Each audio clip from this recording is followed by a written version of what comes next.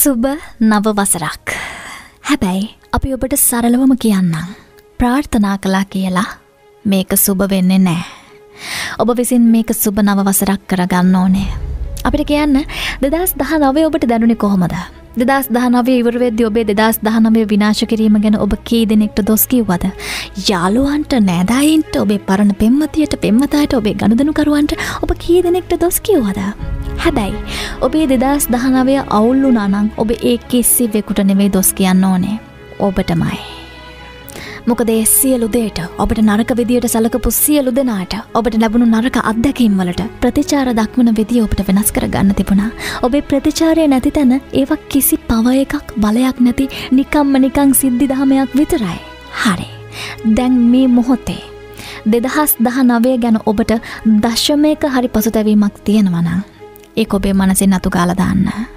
මොකද ඔබ දෙදහස් විස්ස දිහාවට වේගෙන් දුවන්න හදනකොට ඔබේ කකුලෙන් අදින කවරු හරි කෙනෙක් මේ ලෝකෙ ඉන්නවනං ඒ දෙදහස් දහන් අවේ පසු තැවීම් විතරමයි. ඔබට දෙදස් විස්ස ඉහල්ලට මිගිල්ලෙන්න තියෙනවා. ඉතින් දැන්වත් මේ අදවත් ඔබ පහලට මදින දේවල් අතාරන්න. ජීවිතය හරි කෙටි පසුතැවීම එක ජීවත් වෙන්න තරන් ජීවිතය දිගන්න හැ. දෙදස් දහ නවේති ගියායට යන්න දෙන්න දෙදස් විස්සේද ඔබේ ජීවිතයට ලැබෙන්න යන සියලු අවස්ථාවන් වලින් උපරිම ප්‍රයෝජන ගන ලැසි වෙන්න.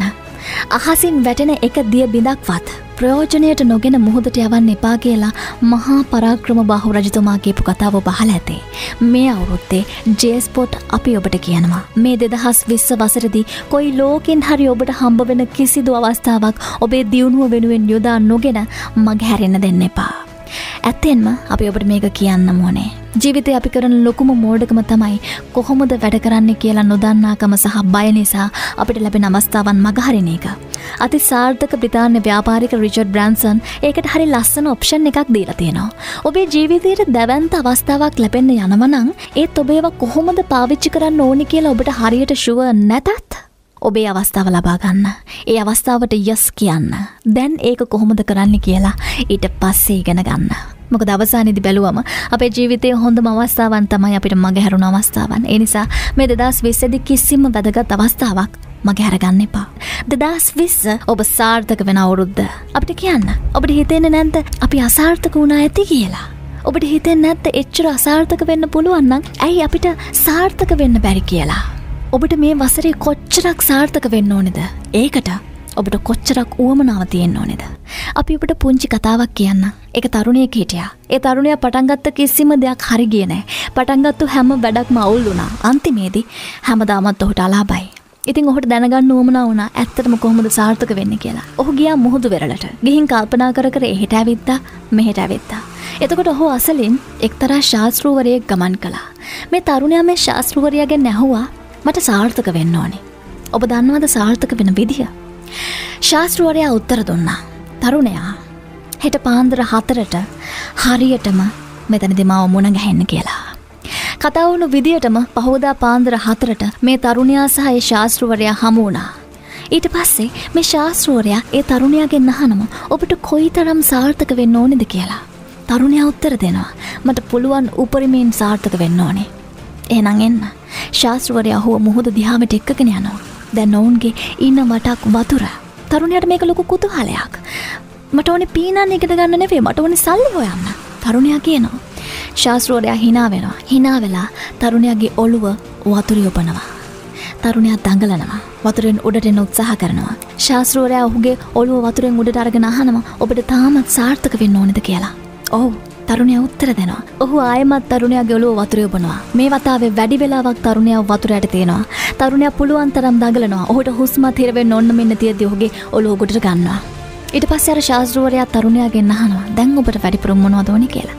තරුණයා කියනවා මට හුස්ම ගන්න ඕනේ මට හුස්ම ගන්න ඕනේ. ශාස්ත්‍රවරයා හිනා වෙනවා. ඔහු කියනවා සාර්ථක වෙන්න ඕනෙ නම් ඔබට සාර්ථක වෙන්න තියෙන උවමනාව ඔබේ හුස්ම ගන්න තියෙන උවමනාවට සමාන වෙන්න ඕනේ.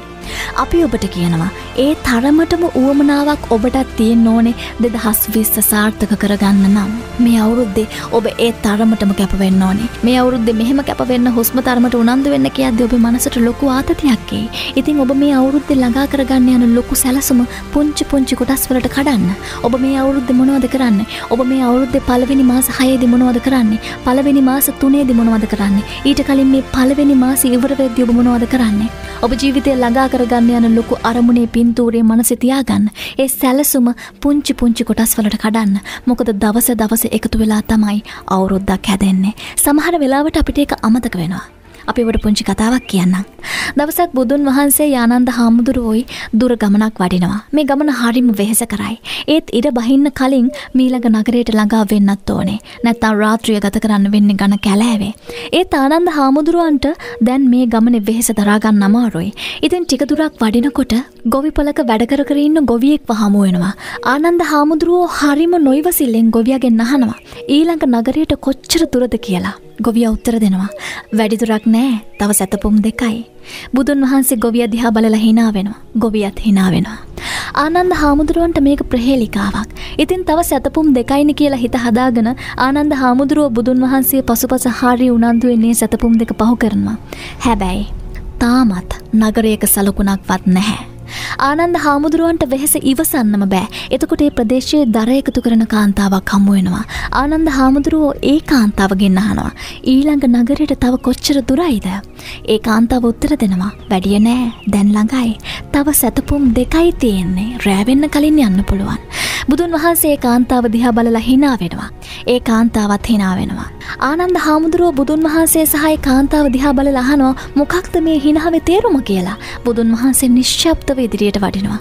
ආනන්ද හාමුදුරුව බුදුන් වහන්සේ පසුපස උනන්දු වෙන්නේ සතපුම් දෙකත් වඩිනවා. සතපුම් දෙකක් ගියා. නගරයක් හමු වුණේ නැහැ. ඔහොම යනකොට තුන්වැනි පුද්ගලයකුත් මුණ ගැහෙනවා. ඔහුත් පෙරාය කියපු කතාවම කියනවා. බුදුන් වහන්සේ ඔහුත් සමගත් හිනා වෙනවා. ඔහුත් හිනා වෙනවා. නමුත් නගරයක් හමුවන්නේ නැහැ. ආනන්ද හාමුදුරුවන්ට දැන් මේක උපතෝ කෝටික ප්‍රශ්නයක්. ආනන්ද හාමුදුරුවෝ වෙහෙසයි මේ අමුතු සිනහවේ තේරුමයි ඉවසන්න බැරිම තැන බුදුන් වහන්සේගෙන් අහනවා. මොකක්ද ඔබ වහන්සේ සහ ඒ මිනිසුන්ගේ අතර නැගුණු ඒ සිනහවට හේතුව? මොකක්ද ඔබතුමන්ලගේ සම්බන්ධය? බුදුන් වහන්සේ හරිම සංසොන් විදියට පිළිතුරු දෙනවා. මම සහ ඒ මුණ ගැසුණු සියලු දෙනාගේ වෘතිය හරිම සමානයි. ඒ තමයි මිනිස්සුන්ව ධෛර්යමත් කිරීම. තව සැතපුම් දෙකයි තව ටික දුරයි කියමින් ඔවුන් මිනිස්සුන්ව දිරිගන්නනවා. මගේ මුළු ජීවිත කාලය පුරාවටම මම කළෙත් ඒ දේමයි. මිනිස්සුන් අවසානයේදී අවශ්‍ය තැනට ළඟා වෙනවා. හැබැයි ගමන ආරම්භයේදීම මිනිස්සුන්ට කිව්වොත් මේ ගමන සැතපුම් පණහක් දුර බව ඔවුන් අධෛර්යමත් වෙනවා. නමුත් සැතපුම් දෙකෙන් දෙක ඔවුන් සැතපුම් දෙසීයක් වුණත් පසු කරාවේ. මංගේ මිනිස්සුත් එක්ක හිනා වුණේ මං මේ ගම්මානය දන්න නිසා. මං මේ ගම්මානයට මීට පෙරත් වැඩිය නිසා. මම දන්නවා ඒකට තව සැතපුම් දෙකකට වැඩිය දුර බව. නමුත් මම නිහඬව හිටියා. මොකද ආනන්ද ඔබට දැඩි උවමනාවක් තිබුණා මේ ගමනේ දුර ප්‍රමාණය හරියටම දැනගන්න. මම දැනගෙන හිටියා ඉර බහින්න කලින් අපිට ඒ තැනට ළඟා වෙන්න අමාරු බව. නමුත් ඒ අපිට හමු වූ මිනිසුන් අපිට බොරු කළේ නැහැ. ඔවුන් හරිම කරුණාවන්තය. අර පළමුවෙන්ම හමු වුණු ගොවියා ඔබ ඔබව සැතපුම් දෙකක් ඉදිරියට තල්ලු කළා.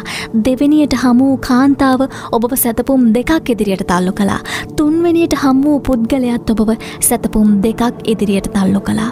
තව කිහිප දෙනෙක් මුණ ගැහුණනං ඔබ අනිවාර්යෙන්ම නගරයට ළඟා වෙනවා. නමුත් දැන් ඔබ වෙහෙසට පත් වෙලා හමාරයි. අපිට මේ රාත්‍රියයේ මේ විශාල ගසයට නවතැන් ගන්න පුළුවන්. නමුත් නගරයට තව කිලෝමීටර් දෙකක් නෙවේ. ජෙස්පොට් අපි ඔබට කියනවා මුළු අවුරුද්ධම ගැන හිතලා අධෛරිමත් වෙන්න පා දවසින් දවස ඔබ මේ දවස් තුන්සිය හැට පහස් සාර්ථකව සම්පූර්ණ කරන්න සතියෙන් සතිය අපි ඔබව දිරිගන්වනවා. බීන්ස්පයට් නාලිකාවේ වසර ආරම්භක වීඩියෝ පටේ හරි ලස්සන කතාවක් කියලා තිබුණා. තවත් මාස දොළහක අවස්ථාවන් සහ අභියෝග ඔබ හමුවේ තිබෙනවා. පසුගිය කාලේ ඔබේ ජීවිතයේ සිදුවුණු සිදුවීම්වලට ඔහේ සිද්ධ වෙන්න ඔබ ඉඩ දුන්නද? නැත්නම් ඔබේ දේවල් ඔබට කැමති ආකාරයට සිද්ධ කළාද? අපේ ජීවිතේ හැඩය තීරණය වෙන්නේ අපි ගන්න තීරණ අනුව. සමහරවිට ඔබ ගත්ත තීරණ ඔබව හරි තැනට ගෙනියන්න නැතුව ඇති. නමුත් ඒකෙන් ඔබ පාඩම් ඉගෙන ගන්න ඇති. දෙදස් විස් ආරම්භයට ඔබ ගෙනත් තියෙන්නේ ඔබ ඒ විදියට දෙදස් දහ නවේදි නිර්මාණය කරපු ඔබේ ජීවිතය. නැතුව ඒක ඔබේ දයිවය නෙවේ. දෙදස් දහ නවේදි වැරදුණු සියලුමදේ නිවැරදි කරගන්න ඔබට දෙදහස් විස්සෙන් අලුත් මාස දොළහක් ලැබිලා තියෙනවා. දෙදහස් දහ නවේදි පැරදුණු හැමදේම ජයග්‍රහණය කරන්න දෙදහස් විස්සෙන් ඔබට අලුත් අවස්ථාවන් ලැබිලා තියෙනවා. දෙදහස් දහ නවේදි ගිලිහුණු හැම අත්දැකීමක්ම ළඟා කරගන්න දෙදහස් විස්සෙන් ඔබට පුදුම තරම් අභියෝග ලැබිලා තියෙනවා. ඉතින් ඒ වරගන්න දෙදහස් විස්ස ඔබේ මතක තියාගන්න මේ වසරේ ඔබට බෑ මිනිස්සු මගේ කකුලෙන් නදිනවා ඒකයි මට මේ දේ කරන්න බැරිවුණේ කියලා චෝදනා කරන්න. මේ වසරේ ඔබට බැහැ මිනිස්සු මට වංචා කරනවා ඒකයි මගේ සිහිනවලට යන්න බැරිවුණේ කියලා චෝදනා කරන්න. මේ වසරේ ඔබට බැහැ දෙදහස් දහ නවයේදි දෙදහස් දහ අටේදි දෙදහස් දහ හතේදි හිටපු තැනම එක තැනම ඉන්න. සමහරවිට ඔබට ඉහලට යන්න බය ඇති මොකද ඔබ පහලටම වැටනොත් කියලා ඒත් නිකමට හිතල බලන්න ඔබේ කිල්ලුනොත්. මේ අවුරුද්ධ ඔබ කෙසි කෙනෙක්ට වෛර කරන්න එපා. ඔබට එකට කාලය නෑ. ඔබට ආදරය කරනයට ආදරය කරන්න තියෙනවා. මේ අවුරුද්ධ ඔබ හිස් මිනිහෙක් වගේ කාලය කන්න එපා. ඔබට ඔබේ ජීවිතය වෙනම ලස්සන තැනකට අරගෙන යන්න තියෙනවා. මේ අවුරුද්ධ අනිත් අය හිතන විදිහට ඔබ හැඩගැහෙන්න එපා. ඔබ ඔබ විදියට ඉන්න. ලෝකය හැඩගැහැයි ඒකට. ඔය ජීවිතය ඔබේ. ඔබට පුළුවන් තීරණ ගන්න. මතක ඇතුව ඔය ජීවිතය විදින්න කිසිම කෙනෙක් වෙනුවෙන් ඔබේ අභ්‍යන්තර සැනසීම නැති කරගන්න එපා. හැකි තරම් මිනිස්සුන්ට උදව් කරන්න. අඩුම තරමේ දවසකට එක පුංචි උදව්වක්වත් එක් කෙනෙක්ට හරි. ඒ උදව් උදව් ඔබේ කරුණාවන්ත වචන මුළු වසර පුරාම දෝම් කාලයක් වෙලා ඔබට ආශිර්වාද කර කර තවත් ඔබව සාර්ථකත්වය දිහාවට අරගෙන යන හැටි බලන්න. ඒ පුදුමය අත්දකින්න ලෑස්ති වෙන්න. මතක ඇතුව ආදරය කරන්න. මේ මුළු ලෝකෙම ඔබට ආදරය නොකළත් ඔබ ඔබට ආදරය කරන්න. මුළු ලෝකයට මාදරය පතුරුවන්න. කෙල්ලනේ ඔබේ අරමුණු ෆෝකස් කරන්න. මේ කොල්ල කොහෙවත් යන්නේ නෑ. ඔබ ඉන්න තැන නෙවෙයි ඔබ යන්න ඕන තැන් තමයි ෆෝකස් කරන්න ඕනේ ප්‍රශ්න නෙවෙයි ආශිර්වාදයන් ෆෝකස් කරන්න. මේ වසරේ ආකර්ශණය වෙනුවෙන් ඔබේ ගෞරුවය වෙළඳාම් කරන්න ලැස්සෙ වෙන්න එපා. ඔබෙන් ඇරෙන්න කිසි දෙයක් කිසි කෙනෙක්ගෙන් බලාපොරොත්තු වෙන්න එපා. හොඳට මතක තියාගන්න සියට සියක් කැපවෙන්න. ඔබේ අත් දෙක සාක්කු වෙදාගෙන සාර්ථකත්වයේ ඉනිමගනගින්න බෑ. එහෙමනම් let's do this. good luck